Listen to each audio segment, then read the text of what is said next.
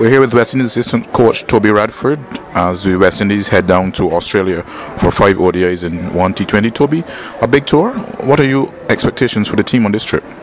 Um, well, the, the, team itself is a, is a real mix of uh, experienced and younger players. Uh, I want to see some real fighting performances. We performed well against Australia back in back in the Caribbean um, nearly a year ago, or less than a year ago.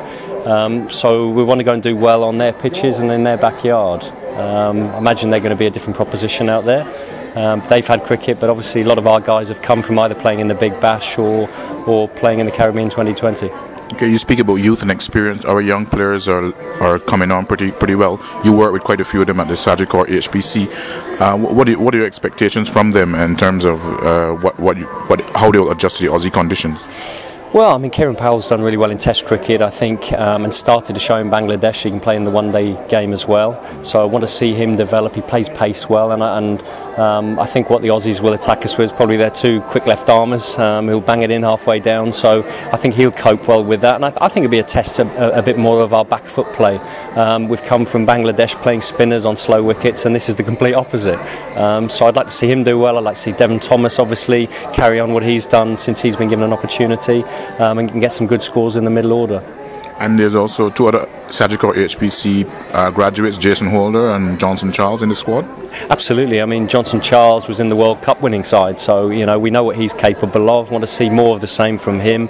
Um, and Jason Holder's really, I mean, for a number of years, really impressed me when he was at the HPC. His work rate, um, him as an individual on and off the field, a terrific guy.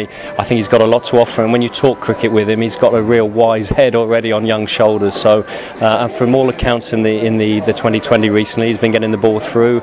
Um, but he, we know he can he can bat well in the, the lower middle order. So an all round very good cricketer. And the senior players uh, need no introduction. Um, Chris Gayle, Darren Sammy, Dwayne Bravo, and Ramnaresh Sarwan is has returned to the to the West Indies team. I guess the leadership groups looks pretty solid and look, and can handle themselves at this level for sure. Absolutely. Well, they've been there and done it. All of those guys have been there and done it and, and, and played at this level and played well at this level. So, uh, what you've got, I think, in any side, you want that mix of youth, talented youth, but with experienced heads as well. You can't have all youngsters, or you you know you need someone to guide the ship. And uh, we need our big players to perform on this tour. You know, Chris is, is, has found some form recently. Polly's had some good scores out in Australia. Um, you know, Brav, senior Brav's done really well. So, you know, we've got we've got high quality players here, and I think if they can do their bit and lead from the front, you've got the youngsters to show what they've got as well. This could be a really good tour. And um, last year when we played Australia in the Caribbean, Kemar Roach 10 wickets in a test match in Trinidad. I know he's not, we're not playing a test tour, but mm. Roachy's been down, he's been in the Big Bash, he won the Big Bash with Brisbane, and he, he comes back into the squad. I'm sure he's, he, I know he's one of your favourite players in the team, and, mm. and I'm sure you're expecting a lot from him in, in conditions that are pretty familiar to him now. A- absolutely, and, and I think they'll be well aware. Um, you know, players like Warner, who he, he got out for a pastime back in the Caribbean, there'll be one or two, you know, knowing that he's already had them before, so you know they're slightly on the back foot. And um, I know they were very impressed when he bowled at them in the Caribbean, and if he can produce anything like that, you know, I think we're in for a really good series. And finally, it's the start of a very big year for West Indies. There's flat out cricket up until the end of July. West Indies will be playing all formats of the game, Champions Trophy in England. Um, what will be your expectations for the team this year?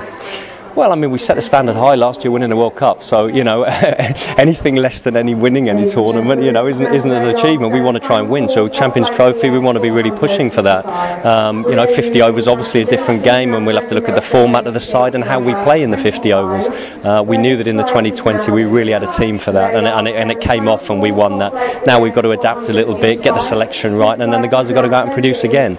Um, you know, as you say, it's a great year all round, starting with this, with this Australian trip trip, and then we've got Zimbabwe back in the Caribbean.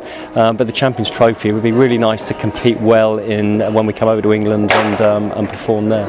Okay, Toby, thank you very much. Thanks, mate. Okay.